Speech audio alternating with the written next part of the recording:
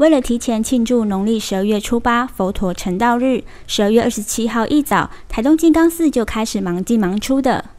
诶，今年数量呢有增加这个一倍啊，今年呢总共煮两万多份啊。诶，因为今年呢特别要配合，就是就是让学生们呢也能吃到这一碗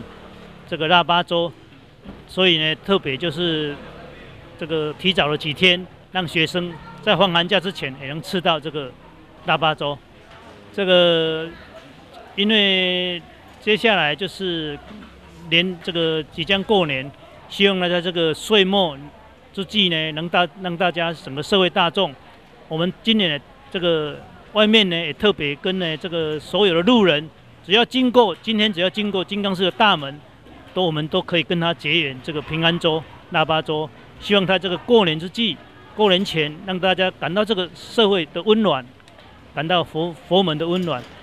而且呢，能在这个，在这个这个新的一年能更平安、更顺利，这是我们主大巴州平安州的这个最大意义。从清晨四点开始，两百五十位志工集结在金刚寺，大家忙着备料煮粥，希望在这冷冬能将温暖及带有平安意味的腊八粥分送给有缘的民众。黄清海采访摄影。